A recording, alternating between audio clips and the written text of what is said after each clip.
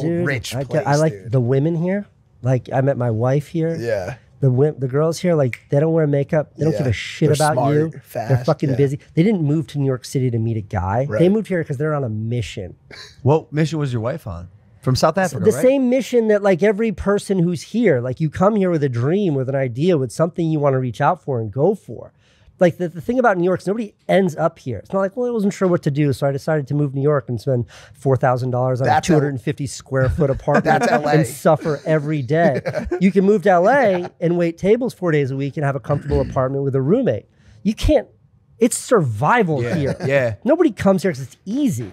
Like you have to fight to be here, and that that like social Darwinism wipes out ninety nine percent of the population, and you're left with this psychotic one percent Yeah. of doers that just are they have a purpose. And don't mind the stench of piss. They don't mind piss, and that's what I look for in a woman. Someone who can tolerate the scent of piss on a hot summer well, that's how you know they're trained to take off a child's diapers. Now all we're day. talking, Mike.